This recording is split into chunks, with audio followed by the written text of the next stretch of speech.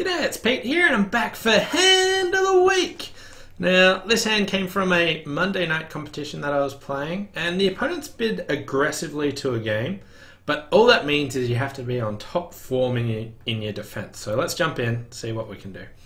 So here, the auction went one diamond from my partner, and it went one no trump overcall. I passed, and my left hand opponent transferred to hearts. Went two hearts they now bid three clubs, natural and forcing, and it went three no trumps, which went all pass. So here, uh, like, uh, I don't want to lead a heart and I don't want to lead a club. Do I lead my partner's suit? But is like a good question, but here I know Easter's overcalled one no trump, so they're sitting over them. That doesn't mean you shouldn't always lead it. If you're not sure, that should be your go-to action. But here I also know East doesn't like hearts and probably has quite a good diamond stopper.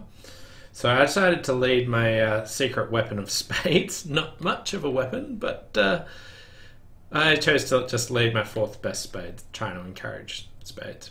Could have considered the six of spades as well. So anyway, went spade to the queen and Declarer won the ace. So at this stage, what do I know about the different hands? So Easter's doesn't have uh, three hearts. They've only got two hearts. Also, I know that Dummy kind of looks entryless. My partner probably has a diamond on her. And the Queen of Clubs will probably stop them getting to the clubs. They've got the Ace of Hearts as an entry. But other than that, they don't have a way of getting back to the hand.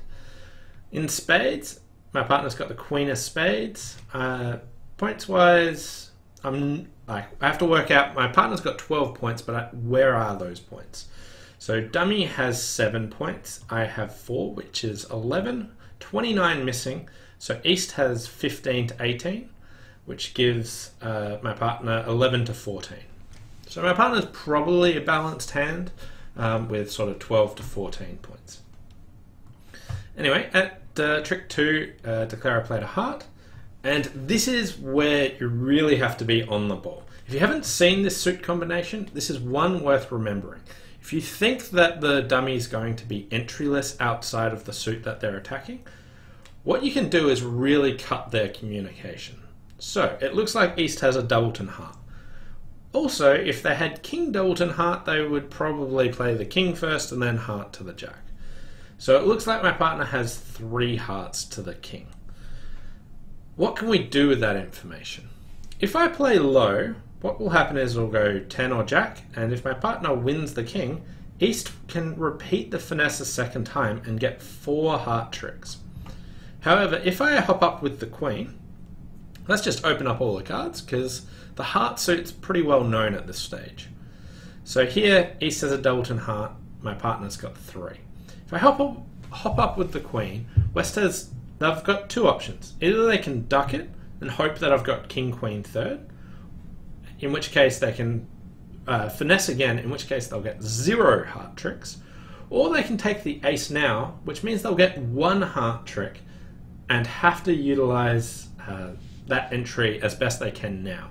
And effectively, dummy will be dead after that. So by hopping up with queen, if they duck it, they may get zero tricks, they can duck it and play a heart to the ace the next time, but uh, if they duck it and finesse again, they get no heart tricks, or else they get just one. If instead I play low and they put in the 10, if my partner wins the king, now they can set up four heart tricks to go along with their two diamonds, their club, their spade they've already got, and they'll probably get one more trick as well. So if I play low, there's a good chance that they'll actually make this if I do happen to play low and miss this golden opportunity to hop up with the queen to cut communication, my partner can be on the ball and duck this heart as well. Now, this lets East West have two heart tricks, but they don't get the three tricks that you're really expecting. Uh, the, the four tricks that they were expecting. So if they play a heart to the 10, if my partner, if I've made the mistake and not put up the queen, my partner can duck it and keep them to two heart tricks rather than four. But if my partner also mistakes and puts up the King of Hearts, now they they've got four heart tricks they're entitled to get to. But the best we can do, cut communication by me hopping up with the ace, uh, with the queen, just allowing them to get the ace. Cut that communication for the heart suit. So this is a really cool suit combination. It doesn't come up too often, but when you see dummies pretty much entryless outside of this suit, and they've got ace jack 10 to 5, you can hop up with the queen. Um, or the king. Uh, basically, if you expect that uh, has got two little, or even three little, you can cause some, them some real grief. Um, if I had queen doubleton, I could still hop up with the uh, queen there and make them guess what's going on with the suit. So here, if I hop up with the queen, it cuts communication. If I play low, my partner can cut communication, but it gives them a trick as well. Definitely right for me to hop up with the queen. Kill that entry, the kill the suit by cutting the communication, making them take the ace earlier than they want, or letting me score the queen. Thanks for watching. Hope you enjoyed this hand of the week, and I'll see you next time. Bye for now.